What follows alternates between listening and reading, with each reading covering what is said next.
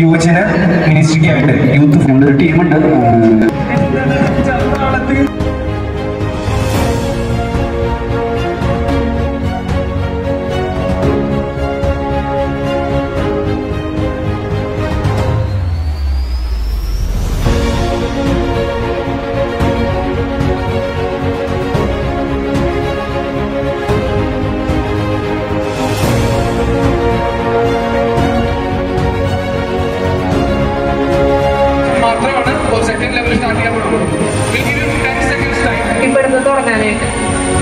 എത്ര ഹൈറ്റിൽ പോയാലും നമുക്ക് അടിയിലേക്ക് വരവ് വരുന്നത് നമുക്കൊരു Six wheel bus. 10, 9, 8, 7, 6.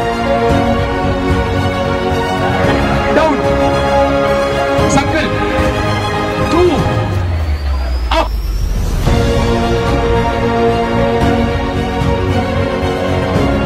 ഇവിടെ കൊണ്ട് അവസാനിക്കുന്നില്ല നമ്മുടെ പ്രോഗ്രാം മറിച്ച് നമ്മുടെ ഇടവകയിൽ ഇങ്ങനെ എല്ലാവരും കൂടെ ഒരുമിച്ച് കൂടിയിട്ട് അങ്ങനെ നമ്മുടെ ഇടവകയിലെ യുവാക്കൾ എല്ലാവരും ഒരു കുടക്കീഴിൽ അണിനിരന്ന് ഒരുമിച്ച് ഒരു മാസത്തോളമായിട്ട് ഈ ഒരു പ്രോഗ്രാമിന്റെ ഇടയിലായി.